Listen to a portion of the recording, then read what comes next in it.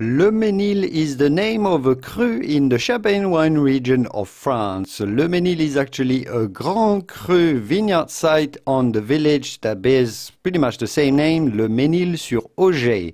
Le Mesnil is also the name of a cuvée made by famous champagne producer Salon. I made a separate video on how to pronounce Salon, but for now, how do you go about pronouncing Le Mesnil? Well, the middle, the central S of Mesnil is silent. It does mean that instead of pronouncing Menil, you just have to say Menil though. Le Mesnil. Le Mesnil. I hope this video was useful. If it was, give it a quick thumb up before you go to support my work, and I will see you soon in the wonderful world of wine. Au revoir. Bye bye.